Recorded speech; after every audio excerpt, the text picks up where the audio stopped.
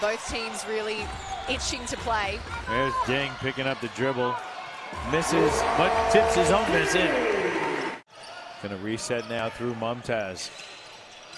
Ross Paiwan kicks it. Diing from the wing. Drains Diing it. from the wing. It's a little bit slow on that. Didn't sort of get up for the shot, let it happen. Got to be a little bit more reactive.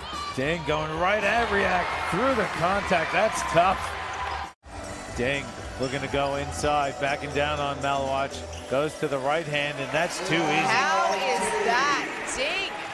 And we love commentating and watching it. Make sure you're tuning in live and free on Kayo Sports and the NBL One app. Diing steps back. That's pretty. But Nate, yeah, Nate's on there in street clothes as Diing fires another three. Man, that is a smooth jump shot. Wake him up either way.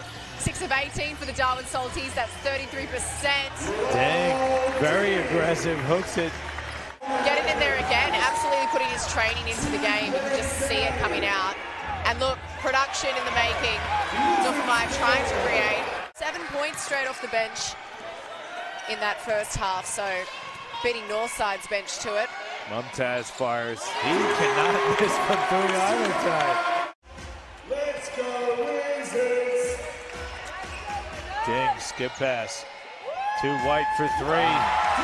That's go. beautiful. Diing with a crucial rebound too. Yeah, Malwatch recovers and gets the steal on the other end. Pushing up court, gets to the rim. Blocked by Diing. Not bad handles either. Through taking it down the court. Diing goes baseline. Lamp is good and one. What a play there by Diing.